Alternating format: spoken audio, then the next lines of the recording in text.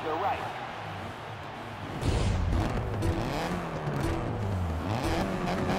Best of luck, guys.